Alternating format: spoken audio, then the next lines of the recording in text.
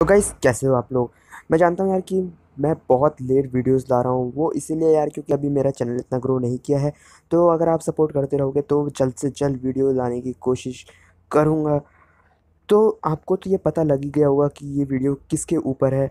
Thumbnail और title को देख के आपने पता लगा ही लिया होगा। तो चलो आपका बिना टाइम गवाते हैं, आज की वीडियो को स्टार्ट करते हैं।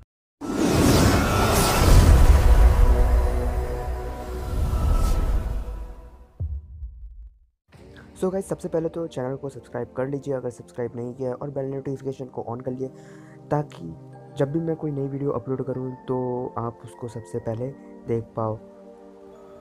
जब आप चैनल सब्सक्राइब कर देते हो या फिर वीडियो पे लाइक कर देते हो तो मेरे को मोटिवेशन मिलती है कि कुछ नई वीडियो लाऊं और कुछ नए टॉपिक पे वीडियो लाऊं, खासकर आपके लिए। तो गाइज़ इस वीडियो का मतलब ये नहीं है कि जो हमसे खेलते हैं, वो अच्छा नहीं खेलते। वो भी अच्छा खेलते हैं, लेकिन गाइज़ ये वीडियो उनके लिए है जो क्लॉ पे स्विच होना चाहते हैं।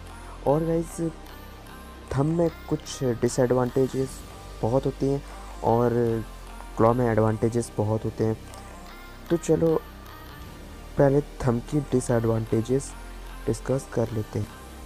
थम के डिसएडवांटेजेस ये होते हैं कि आप ज़्यादा मूवमेंट नहीं कर सकते और ज़्यादा क्विकनेस नहीं दिखा सकते गेम में और यार रिएक्शन टाइम भी थोड़ा कम होता है। लेकिन अगर आप प्रैक्टिस करोगे तो आप थम से भी बहुत अच्छा खेल पाओगे। और यार क्लॉ को क्या, क्लॉ वाले बंदे को क्या भाई आप एमुलेटर वाले बंदों को भी हरा सकते हो? और अब यार क्लॉ में क्या होता है कि आप एमिंग मतलब शूट करते वक्त आप बहुत सारे मूवमेंट्स दिखा सकते हो। जैसे कि क्राउच होना, जंप होना और पिक करना और साथ में कभी कभार स्नेक बन जाना या लेट जाना तो क्लॉ इसलिए होता है ज़्यादा मूवमेंट्स करने के लिए और रिएक्शन टाइम बढ़ाने के लिए। क्विकनेस क्लॉ में होती है। मैं ये नहीं बोल रहा कि थम में नहीं होती थम में भी होती है, लेकिन वो प्रैक्टिस करने से आई थम में क्या होता है यार कि थम में आपको क्लोज फाइट में प्रॉब्लम आती है और क्लॉ में इतनी प्रॉब्लम नहीं होती जितनी थम में क्लोज फाइट में होती है। तो आज के टाइम में बहुत लोग क्लॉ सीखना चाहते हैं तो ये गाइड यार उन्हीं के लिए है जो अभी नया नया क्लॉ सीख रहे हैं या फिर सीखना चाहते हैं। तो क्लॉ सीखने के लिए सिंपली आपको क्या करना है कि पहले तो आपको एक सिंपल सा क्लॉ सेटअप बनाना है। तो गाइज़ मैं आपको दिखा देता हूँ कि आपको कैसा सिंपल क्लॉ सेटअप बनाना है और उससे प्रैक्टिस करनी है। तो चलिए चलते हैं हमारे ट्रेनिंग रूम में।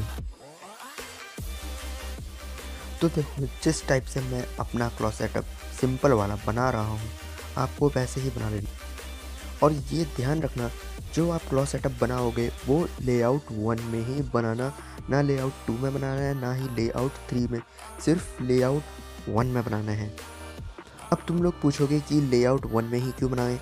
लेआउट टू में भी बना सकते हैं लेआउट थ्री में भी बना सकते हैं। तो गाइस इस चीज़ के लिए मैंने अलग से एक वीडियो बना रखी है, आप वो जाके देख सकते हैं। वो वीडियो आपको इस वीडियो के एंड पे मिल जाएगी तो वीडियो को पूरा देखते रहो। अब देखो गाइस सिंपली आपको क्या करना है? जब आपका ये क्लॉथ सेटअप बन जाए तो आपको पहले तो ट्रेनिंग करनी है, फिर आपको एक दो मैचेस दिन में वॉर या आर्केड खेलना ही खेलना है, ताकि आपका हाथ बिल्कुल सेटअप हो जाए और आपकी मसल मेमोरी बन जाए।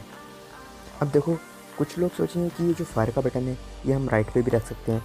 तो गाइज़ मैंने भी एक बार ट्राई किया था।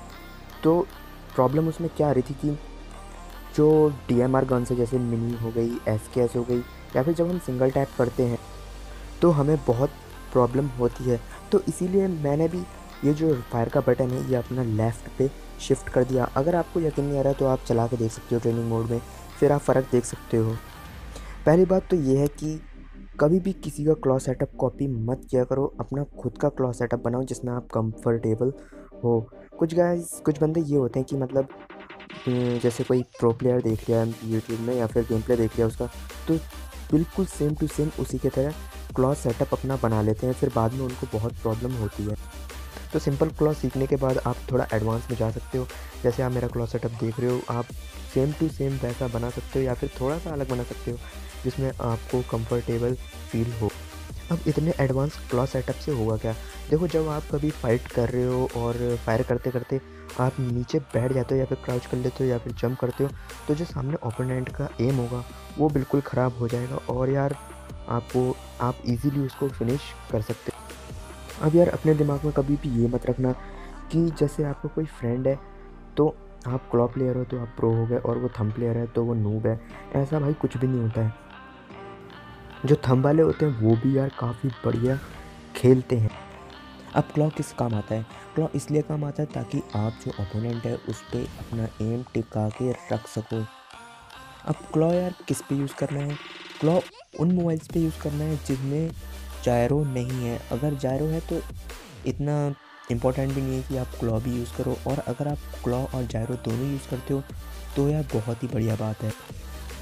क्लॉ सीखते टाइम आपका थोड़ा गेम प्ले ख़राब हो सकता है और यार, जो आपके फ्रेंड्स हैं, वो भी बोल सकते हैं कि भाई, तू तो यार पहले से बहुत बुरा खेल रहा है। तो आपको वो सब क्या करना है? वो सब आपको इग्नोर कर देना है और सीधे मैच में नहीं घुसना है। आपको या तो आर्केड खेल लेना है या तो वॉर खेल लेना है ताकि आपकी मसल मेमोरी बन जाए कि भाई, ये जो कंट्रोल्स हैं, ये कहाँ कहाँ पर हैं। तो स्टार्टिंग में तो बहुत प्रॉब्लम होगी, लेकिन जब आप क्लॉस सीख जाओगे तो आपके फ्रेंड्स हैं वो बोलेंगे, भाई यार, तू क्या एमुलेटर पे खेलता है? जो प्रो प्लेयर्स होते हैं, वो क्लॉक किस लिए यूज़ करते हैं? वो क्लॉक इसलिए यूज़ करते हैं ताकि वो ज़्यादा से ज़्यादा मूवमेंट दिखा सकें। तो अगर आप मेरी बातों को फॉलो करोगे तो शायद छः दिन में क्या भाई, आप तीन दिन में ही क्लॉस सीख जाओ। तो आपसे विदा लेने का समय आ गया है। अगर वीडियो अच्छी लगी तो वीडियो पे लाइक करो और शेयर कर दो कमेंट कर दो और यार सब्सक्राइब कर दो। सब्सक्राइब की यार मुझे बहुत ही ज़्यादा ज़रूरत है। तो ये वीडियो अपने फ्रेंड्स के साथ शेयर करो और उनसे भी बोलो कि भाई सब्सक्राइब कर दो। तो इन्जॉय करो मेरा गेम प्ले तब तक के लिए गाइस बाय मैं आपसे नेक्स्ट वाली वीडियो में मिलूँगा।